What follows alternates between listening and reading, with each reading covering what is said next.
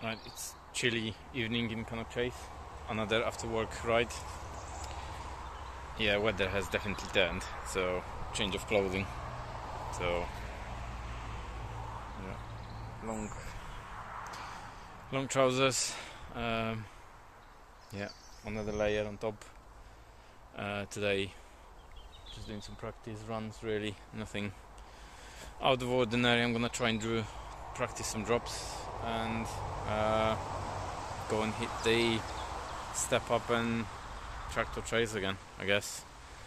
So watch the space and let's crack on with it.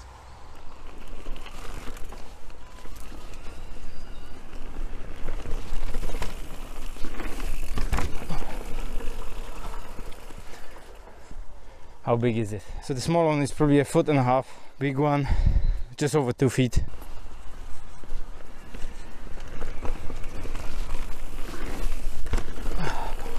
Too much.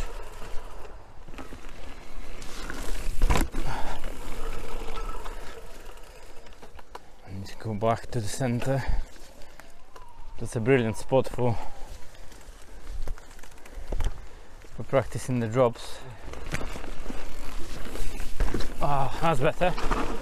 That's that's it. Just need to go back to the center. Right, the reason I'm doing this because I've again educated myself on YouTube and I'm most of the time pushing the bars on drops which apparently is the wrong thing to do because you're not as naturally going back to the center of the bike.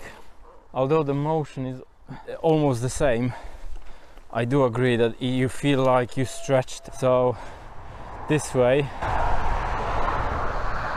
you're supposed to naturally return to the center which that's what I'm trying to see if that's actually true. Yes it's definitely true yeah when you push in I'll, I'll do a push now.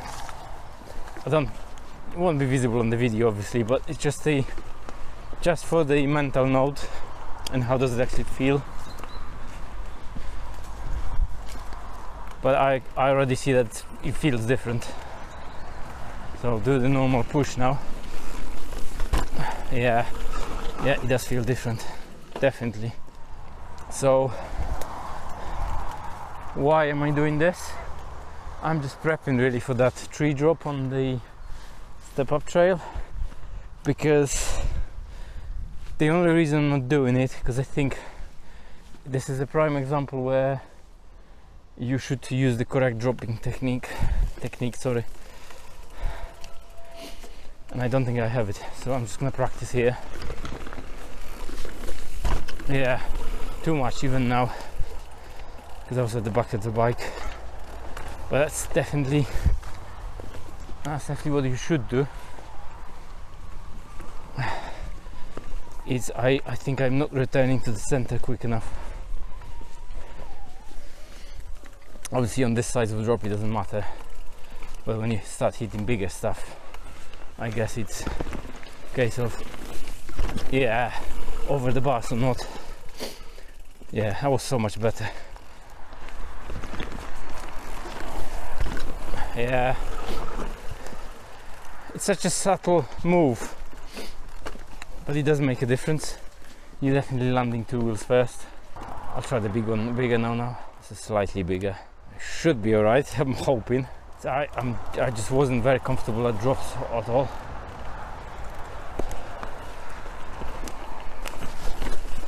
Yeah this is the bigger but yeah it does help a lot to think of it like you moving you shifting your weight back rather than pushing the bars forward funny because the net result should be the same but somehow isn't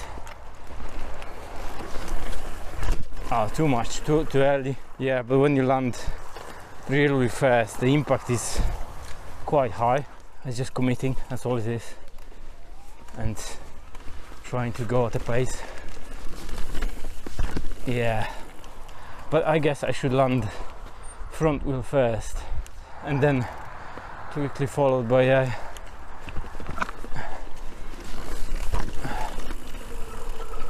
back wheel. Yeah, it's a brilliant place for drops. Small, we still can learn the basic technique. Yeah, nice. That gives me so much more confidence to go and approach that drop on the step up trail. Definitely. Right, I'm gonna have a pause. I'm gonna do an experiment and set up a tripod today because I haven't done it yet. I can set it up there with a tree tripod set. Give it another go. We'll see. Start with the small one. Back wheel first. Room for improvement. Let's try and nail the the small one first and then do the bigger one. Ah, that's probably it. Again, I'm not trying to win drops competition, but it will help not to crash like a, in a big way. Yeah, that actually might have been better. Just try trying the big one now. Yeah, I think I stayed too far back. My goal is to land this so I've got control before whatever next is coming. I think I'm gonna go and do that drop today because it's the same size as this and not even with the worst attempt I haven't cocked it up. So yeah, that felt so much smoother. The small ones I'm pushing the bars which is technically incorrect but I still gonna say that on the small ones is the way to do it. All you're literally doing is squashing everything and making sure that the front wheel just touches the ground as soon as possible. And that's how you avoid bad landings, I think, on smaller drops.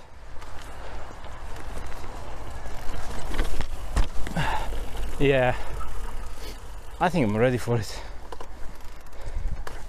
I think I am. Wow, now for comparison, I'm gonna jump it and see what the difference is in harshness of landing. Oh yeah, you hear that? It's like, yeah, obviously the size is not big enough to cause any issues, but yeah, there's definitely difference. I just heard it. The contact was a lot heavier, was up in the air a lot more. So yeah, this actually cracking exercise. Yeah definitely. Less time in the air landing quicker which is important because you can prepare for next turn jump whatever it may be. It's a lot of practice today already but I want to hit the trail before it gets dark again. Yeah, yeah, I do recommend this channel. They are they are not as commercial as some of the main ones. Not mentioning any names. I don't know if I found it easy to follow and uh, just practice what they've sort of teach. And uh, they the drop video It's effectively that. Just don't push the bars try and lean backward with a bit of a kneel before which is that is what I'm trying to perfect now. Oh that was probably too much. Again enough talking. Yeah I don't think I fancy the step up jump today because I cased it badly on the group right? So I'm gonna do a couple of those small jumps obviously in drops. Then avoid the first drop because it's narrow uh, avoid the step up jump. Do the gap jump. Do a run up to a to the tree drop and then come back and do it. Right? So here we are. Wish me luck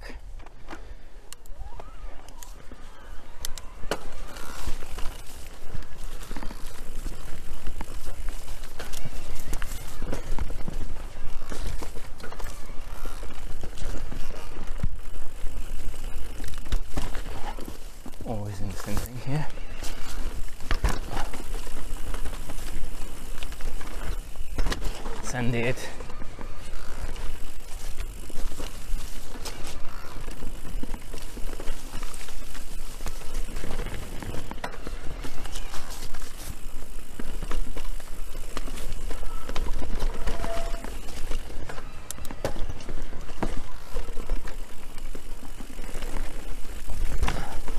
Oh, pulling the branch.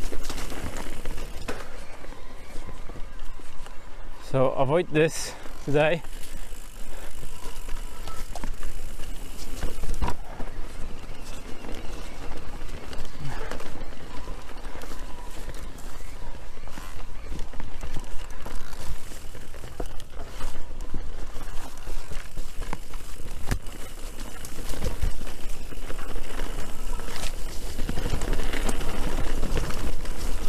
Yeah, I'm gonna avoid this today. Still have a bad taste in my mouth after last case.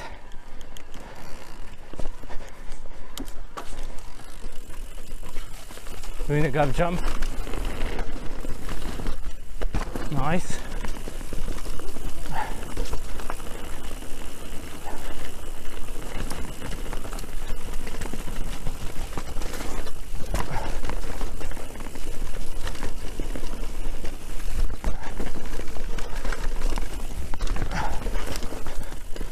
On a bit of line. Right, one run up. Yeah, it, it might be even smaller than the other one. I'm still shit scared. I'll be fine. I'm not gonna lie. Once I've done it, I'll be probably fine, but I'm shaking. Alright, let's do this.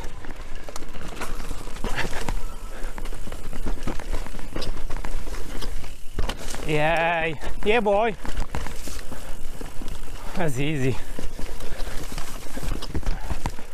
This is what it is. It's just a battle with your mind.